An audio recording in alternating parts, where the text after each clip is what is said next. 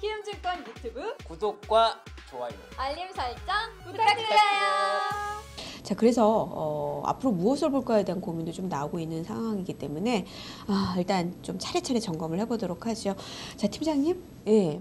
오늘도 이슈에 따라 움직인 건가요? 그러니까 지금 보니까 중국 증시랑 좀 연동되는 면이 있는 것 같아요. 그렇죠. 예. 중국 증시가 2% 가까이 올라가니까 네. 좀더 반등을 주고 좀 밀리니까 또 하락을 했다가 다시 또 반등 주고. 음, 네, 그거는 이제 그냥 드러나 있는 현상이고요. 네.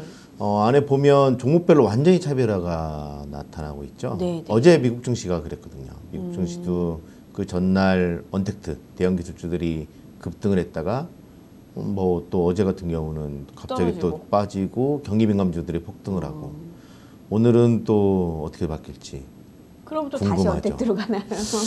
그건 모르죠. 어떻게 바뀔지. 아, 지금 음. 오늘 우리나라 계속, 주식시장도 예. 보면 어 언택트 관련 종- 종목들이 밀렸다가 그다음에 2차 전지 업종들도 네. 밀렸다가 언택트 관련 종목들이 또 반등을 네, 주고 네, 맞아요. 지금 뭐 유동성에 의해서 돈의 힘으로 쏠림 현상들이 계속적으로 나타나고 있어요. 그러다 음. 보니까 뭐 그 일부 그 철강, 비철금속 뭐 이런 것들 있잖아요. 국제 뭐야 은 가격이 6% 폭등을 하니까 뭐 오. 갑자기 뭐 일부 종목들 비철금속 관련된 네. 종목들이 급등을 하고 갑자기 은이 올라간 이유가 있습니까? 특별한 게 있겠습니까? 그냥 이제 그쪽도 돈의 힘으로 그쪽이 또 음. 들어올랐구나 이래서 올란 건가요? 그런 것도 좀 네. 있고요. 네. 저 최근 들어서 금보다는 이제 은 쪽으로 음. 사람들이 좀 많이 그 시선이 좀 쏠려 있어요. 그러니까 음. 금 가격이 많이 올라왔잖아요. 9년 넘게 이제 최고치를 경신한 상황에서 그다음에 일부에서는 이제 은에 대한 네. 관심들이 좀 높아져 있는 상황이고 은이라는 게 좀 어떨 때는 안전자산, 어떨 때는 이게 또 산업재에 많이 들어가다 보니까 아. 산업재로도 많이 금과 소용되고 비슷한데요? 금보다는 이제 그나마 이제 좀 은이 그래서 보통 경기 판단이나 이런 거 할 때 금하고 은하고 비교를 많이 해요. 아, 그 금 은 비율이 또 따로 있거든요. 네, 네, 근데 네. 그걸 가지고 따지는 것들도 좀 있고 그래가지고 음. 네 은이 이렇게 급등을 한걸 보면 그래서 산업재 종목들이 좀 올라가는 경향도 좀 있고요. 그다음에 이제 뭐 코로나 백신과 관련된 내용들이 계속적으로 나오고는 있지만 이게 설령 설령 걔네들 말, 말대로 이제 올 하반기에 네, 파우치 소장도 뭐 늦여름이나 초 가을에 이제 뭐 어느 정도 뭐 개발이 될 거다라고 언급을 했잖아요. 네.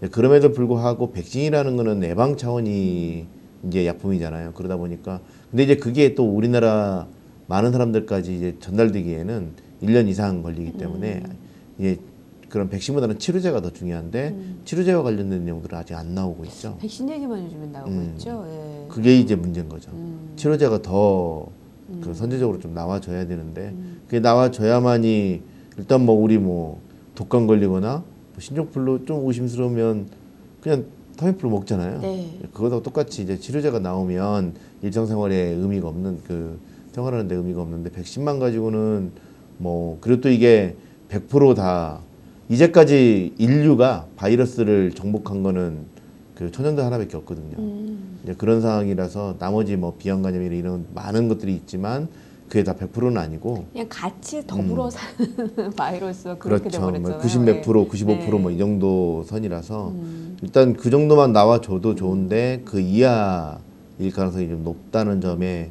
어, 시장이 부담을 주고 있고 일단 백신 관련된 내용들 그 약품들도 보면 항체 바이러스가 좀 줄어든다는 거, 음. 그다음에 또 일부 뭐 부작용이 좀 있다는 거, 뭐 여러 가지 좀 조건들이 좀 있어서 좀 지켜봐야 될 것 같습니다. 이 문제 예. 같은 경우는 뭐 여러 가지 그러다 보니까 시장 자체는 지금 그냥 보합권에서 등락을 보여요. 음. 큰 의미 없이 그냥 종목별로 그러니까 시장 방향성보다는 어, 움직임 그리고 또 이게 외국인 선물 동향하고 또 거의 음. 연동해서 같이 움직이는 거라서 시장이 지금 현재 뭐 네. 뚜렷한 방향성을 못 잡고 있는 거죠. 그러니까 현물 시장에서 방향성을 잡지 못하면 항상 선물 시장에서 외국인들의 매매 동향에 따라서 지수가 왔다 갔다 왔다 갔다 하더라고요. 근데 다만 그렇죠. 제가 느끼는 거는 그래도 어쨌든 주식 시장 안에 있을래라는 그런 느낌이 좀 많이 강하죠. 들어요. 예. 네. 음. 그게 좀 강하고 뭐 그러다 보니까 이제 예전에 뭐 나왔던 비트코인이라든지 뭐 이런 쪽에 거래량이 급감을 해버리고 이 자금들이 대부분 다 주식시장이나 또는 아. 해외 선물이나 네. 이런 쪽으로 가서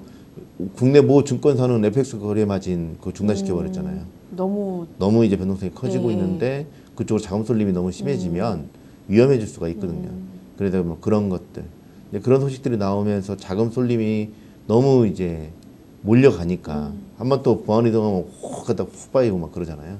네, 그런 것들을 좀 미연에 방지해 나가고 있는 모습이라고 보시면 될 것 같습니다. 예, 참, 이런 얘기를 들을 때도 있군요. 사실 예전에는요 코스닥 자금이 비트코인 시장으로 들어간다, 막 이렇게도 얘기 듣고 아, 맨날 주, 어, 주식 시장에서 자금이 어디로 빠진다라는 얘기만 들었거든요. 그런데 다른 쪽에서 주식 시장으로 자금이 들어온다는 얘기, 그러니까 어, 금융 상품 중에서 주식 관련 쪽으로 들어온다는 얘기를 또 이번에 듣게 되네요. 예, 알겠습니다. 어떻게 보면 자금의 쏠림 현상은 종목별로도 있고 금융 시장 내에서도 좀 나타나고 있는 것으로 보입니다. 가장 매력적인 건 주식이군요.